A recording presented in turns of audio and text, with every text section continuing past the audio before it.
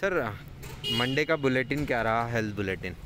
Monday कुल 6,319 sample test किए गए थे जिसमें से 5,377 सैंपल नेगेटिव है वहीं 805 सैंपल पॉजिटिव है हालाँकि मंडे का जो पॉजिटिविटी रेट है वो बारह दशमलव सात प्रतिशत का रहा है। वहीं टोटल जो हमारे ओवरऑल जो इंदौर ज़िले के पॉजिटिव केसेस की संख्या बढ़ करके चौहत्तर हज़ार उनतीस हो गई है और ओवरऑल जो क्यूमलिटी जो पॉजिटिविटी रेट है वह भी सेवन पॉइंट सेवन परसेंट पर रहा है।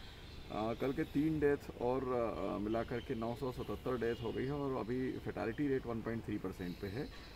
तो ओवरऑल अभी जो पॉजिटिव हमारा जो रिकवरी का रेट है वो 90.7 परसेंट पे है। सड़सठ हज़ार एक सौ सतहत्तर पेशेंट ऐसे हैं जो ठीक होकर के अपने घरों को जा चुके हैं।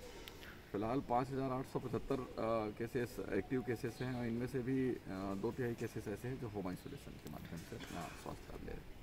लगातार जो बढ़ती जा रही है, उसमें बेड ऑक्यूपेंसी भी हम लगातार मॉनिटर कर रहे हैं? बिल्कुल बेड ऑक्यूपेंसी के लिए निरंतर माननीय जिलाधीश महोदय के मार्गदर्शन में उनके निर्देशन में बेड ऑक्यूपेंसी और बेड की कैपेसिटी कोविड के लिए बढ़ाने की प्रयास निरंतर जारी हैं और अभी इंदौर ज़िले में 6100 बेड के अलावा हम और भी बेड्स छोटे हॉस्पिटल्स को भी मोटिवेट कर रहे हैं कि वो उनके जो कंप्लीट जो हॉस्पिटल का पूरा जो कैपेसिटी है, उसको वो डेडिकेटेड करे कोविड के लिए।